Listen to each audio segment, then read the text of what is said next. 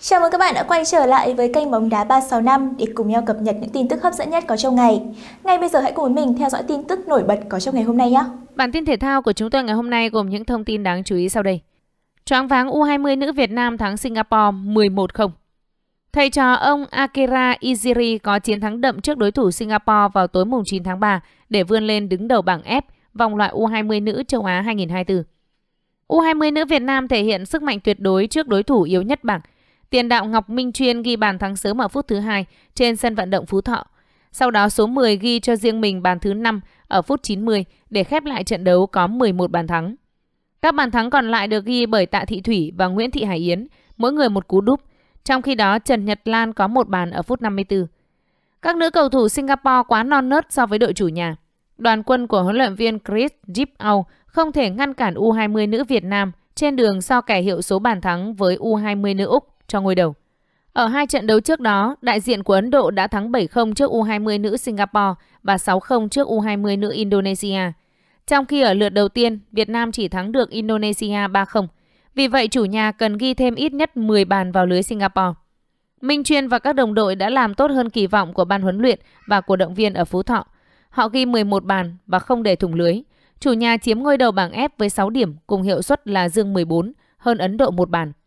Ở lượt trận cuối cùng diễn ra vào ngày 11 tháng 3, Việt Nam chỉ cần hòa Ấn Độ là giành ngôi đầu bảng F. Trận đấu sẽ diễn ra vào lúc 18 giờ. Trước đó Singapore và Indonesia sẽ đá trận thủ tục lúc 15 giờ trên sân Phú Thọ. Vòng loại U20 nữ châu Á 2024 chỉ lấy 8 đội đầu bảng để vào vòng loại thứ hai gặp chủ nhà Uzbekistan, Nhật Bản, Triều Tiên và Hàn Quốc. Huấn luyện viên U20 Việt Nam 2-3 năm nữa lứa này sẽ như Quang Hải, Tiến Linh. Chiều ngày 9 tháng 3, U20 Việt Nam về đến sân bay Nội Bài sau khi dừng chân ở vòng chung kết U20 châu Á 2023. Tại đây, huấn luyện viên Hoàng Anh Tuấn có cuộc chia sẻ với giới truyền thông về giải đấu trên đất Uzbekistan và điều ông mong muốn để bóng đá Việt Nam phát triển hơn nữa. Phóng viên đặt câu hỏi, điều gì khiến huấn luyện viên Hoàng Anh Tuấn hài lòng nhất ở các học trò? Ông Tuấn nói, tôi không có gì nói nhiều về các cầu thủ, các bạn cũng đã thấy được U20 Việt Nam thi đấu xuất thần. Tinh thần, chất lượng thi đấu và đặc biệt là kết quả đều rất tốt. Đó là điều hài lòng nhất. Ông có tiếc nuối khi U20 Việt Nam suýt có bàn thắng từ cú đánh đầu của Quốc Việt trong những phút cuối trận gặp U20 Iran. Nếu Quốc Việt ghi bàn, U20 Việt Nam sẽ vào tứ kết. Trong bóng đá, điều gì cũng có thể xảy ra. Chúng ta cần phải nhìn nhận một cách thẳng thắn rằng U20 Iran xứng đáng giành chiến thắng trước Việt Nam. Iran không phải là một đội Đông Nam Á. Tôi nghĩ thành tích của U20 Việt Nam ở giải đấu này là chấp nhận được. Thông qua những trận đấu mà chúng tôi chơi tốt, tôi nghĩ chúng ta không sai nếu đặt niềm tin hơn vào bóng đá Việt Nam trong tương lai. Tiếc nuối thì ai cũng tiếc, từ tôi, cầu thủ và người hâm mộ. Đi tiếp là điều tốt, nhưng khi dừng lại, U20 Việt Nam cũng có một hành trình đẹp. Thế hệ U20 Việt Nam dự giải châu Á 2016 nhiều ngôi sao, nhưng thế hệ này cũng có nhiều pha phối hợp bài bản hơn. Ông đánh giá gì về hai lứa cầu thủ này? Huấn luyện viên Hoàng Anh Tuấn chia sẻ, mọi sự so sánh đều khập khiễng. Giờ hãy nhìn lại, nòng cốt của lứa 2016 giờ đang ở đâu? Họ là những nhân tố chủ chốt ở đội tuyển quốc gia. Đó là điều mấu chốt. Tôi nghĩ 2-3 năm nữa, lứa cầu thủ này của U20 Việt Nam cũng như các đàn anh Quang Hải, Văn Hậu, Tiến Linh, Tấn Tài. Đánh giá về cơ hội ra sân của U20 Việt Nam khi trở về câu lạc bộ, huấn luyện viên Hoàng Anh Tuấn chia sẻ.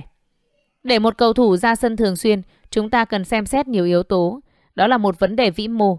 Chúng ta phải chờ xem các câu lạc bộ có đồng ý hay không, triết lý các huấn luyện viên ra sao. Tôi luôn nói với các cầu thủ là phải tập luyện nhiều hơn, chăm chỉ hơn để có thể ra sân hàng tuần. Với các cầu thủ được ra sân rồi, tôi luôn dặn dò họ phải nỗ lực giữ được vị trí. Chia sẻ về suy nghĩ các đội trẻ Việt Nam thi đấu sòng phẳng với các đội trẻ châu Á, ông Tuấn cho biết. Bóng đá Việt Nam thay đổi nhiều, các câu lạc bộ quan tâm đến đào tạo trẻ, đầu tư vào học viện. Liên đoàn cũng có định hướng tốt, tạo điều kiện cho các đội tuyển đi tập huấn ở nước ngoài. Chúng ta có thể chưa bằng các quốc gia khác, nhưng đã dần cải thiện so với chính mình. Trước những giải đấu lớn, các đội tuyển quốc gia đều được tập huấn ở nước ngoài từ U17, U19, U20, U23 lẫn đội tuyển quốc gia. Tuy nhiên để chúng ta có thể có thành tích tốt hơn nữa, các câu lạc bộ phải chú trọng hơn vào khâu đào tạo trẻ. Từ đó chúng ta mới có nguồn cầu thủ dồi dào để chọn lọc cho đội tuyển. Ở V-League, một số câu lạc bộ có lò đào tạo trẻ chất lượng, nhưng một số câu lạc bộ thì không. Tôi hy vọng các câu lạc bộ đầu tư cho lứa trẻ nhiều hơn. Đương nhiên đội 1 vẫn là quan trọng nhất, Nhưng nếu thiếu lứa trẻ, bóng đá chỉ tồn tại nhất thời. Vì sao câu lạc bộ Hà Nội luôn thi đấu ổn định, vô địch V-League rất nhiều? Đó là nhờ hệ thống đào tạo trẻ của họ rất tốt. Các đội U19, U21 của Hà Nội vô địch quốc gia liên tục. Đó là bài học cho những câu lạc bộ khác ở V-League. Có chân sút làm châu Á ngỡ ngàng, Bầu Đức sẽ vẽ đường cho công phượng thứ hai. Nguyễn Quốc Việt vừa tỏa sáng rực rỡ ở vòng chung kết U20 châu Á trong màu áo U20 Việt Nam. Tiền đạo trẻ này được đánh giá vô cùng giàu tiềm năng phát triển. Mối lo cho chân sút vừa làm ngỡ ngàng châu Á. Nhưng vấn đề là Quốc Việt là một chàng trai vẫn ở dạng tiềm năng mà thôi. Khoảng cách từ tiềm năng tới một cầu thủ chuyên nghiệp đã xa, tới một ngôi sao chuyên nghiệp thì còn xa hơn nữa. Như lời huấn luyện viên Phạm Minh Đức nhận xét, để một cầu thủ dạng tiềm năng như Quốc Việt phát triển thành công sẽ cần sự vun đắp rất lớn của phía câu lạc bộ, chứ không chỉ là vài lần tỏa sáng ở cấp tuyển trẻ quốc gia. Huấn luyện viên Phạm Minh Đức chia sẻ, Tôi cũng hy vọng, cũng mong các em về câu lạc bộ sẽ được thi đấu thật nhiều, tích lũy kinh nghiệm thì sẽ duy trì và phát triển được các phẩm chất. Chứ nếu các em lên giải vòng chung kết U20 châu Á, chơi nổi bật rồi, lại về câu lạc bộ dự bị giải thì khó. Các em về câu lạc bộ có đá được không? Rồi tới đây nếu đi SEA Games thì có được sử dụng không? Các em có được chơi nhiều ở câu lạc bộ thì mới tạo điều kiện phát triển tốt. Chứ một năm các em đá trên các cấp tuyển quốc gia cũng không có nhiều. Ví dụ đợt này đi vòng chung kết U20 châu Á, đá 3 trận là về rồi. Nên mấu chốt là các em ở câu lạc bộ phải được chơi nhiều thì mới phát triển được lên cho các cấp độ đội tuyển. Với trường hợp quốc Việt, cơ hội của tài năng này tại Hoàng Anh Gia Lai như thế nào? Rất đáng lo là theo huấn luyện viên Phạm Minh Đức, cơ hội của quốc Việt không nhiều. Quốc Việt về Hoàng Anh Gia Lai thì có được chơi nhiều không còn phụ thuộc vào sơ đồ chiến thuật của huấn luyện viên. Giờ Hoàng Anh Gia Lai lại đang xây dựng hàng công trên hai ông Tây là Washington Brandao và tân binh Paulo Madeira Oliveira, nên em khó có khả năng được thi đấu nhiều. Sẽ có màn nâng đỡ quốc Việt từ bầu Đức. Một thực tế là ở V-League, phương án sử dụng cặp tiền đạo ngoại binh khá ổn, nếu tìm được cầu thủ phù hợp. Tuy nhiên từ năm 2015 tới 2022, Hoàng Anh Gia Lai vẫn duy trì việc sử dụng một ngoại binh trên hàng tiền đạo, còn đâu là dành chỗ cho những công phượng văn toàn phát triển. Bầu Đức những năm qua vẫn đặt mục tiêu hàng đầu là phát triển các cầu thủ Việt Nam cho các cấp tuyển, còn thành tích ở câu lạc bộ dù quan trọng nhưng chỉ xếp thứ hai. Hiện tại các ngôi sao nội của Hoàng Anh Gia Lai đều đã ra đi, không còn Văn Toàn, Công Phượng nên Hoàng Anh Gia Lai chuyển sang chơi hai tiền đạo ngoại.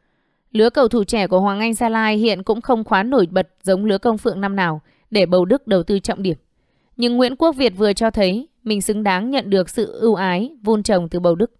Cần biết ngay cả huấn luyện viên chưa giờ cũng đã ca ngợi Quốc Việt, cho rằng đây là một trong những lứa tài năng U20 Việt Nam sẽ cùng đội tuyển quốc gia chinh chiến cho mục tiêu vòng chung kết World Cup năm 2026. Bản thân huấn luyện viên Kiatisak cũng là người có kinh nghiệm vun đắp các cầu thủ trẻ và có thiên hướng khá tích cực với điều này. Trong trường hợp Bầu Đức gợi ý, tin rằng dù đang sở hữu hai tiền đạo ngoại, thì huấn luyện viên Kiatisak vẫn có thể tìm ra cách tạo cơ hội cho quốc Việt. Đấy là chưa kể tới việc thực tế từ đầu V-League 2023, cặp tiền đạo ngoại của Hoàng Anh Gia Lai vẫn chưa phối hợp thật sự tốt. V-League tất nhiên vẫn là sân chơi ở tầm hơi cao cho một tài năng trẻ U20 như quốc Việt, nhưng điều kiện cần là quốc Việt phải được tạo cơ hội chứng tỏ cái đã. Hy vọng với quyết tâm của mình, thứ tâm huyết mà Bầu Đức sẵn sàng đánh đổi tất cả để vun đắp công phượng, sẵn sàng đứng ra gánh đỡ hết mưa gió cho cầu thủ ông coi như con. Giờ đây ông bầu này sẽ chuyển sự ưu ái đó sang một cái tên khác. Biết đâu quốc Việt sẽ trở thành một biểu tượng công phượng thứ hai của Hoàng Anh Gia Lai. Cảm ơn các bạn đã quan tâm theo dõi video của kênh Bóng Đá 365. Đừng quên để lại ý kiến đóng góp của các bạn thông qua phần bình luận bên dưới nhé. Và cũng đừng quên nhấn like, share và subscribe kênh của chúng mình để không bỏ lỡ bất kỳ một tin tức hấp dẫn nào đến từ kênh Bóng Đá 365 nhé. Xin chào và hẹn gặp lại!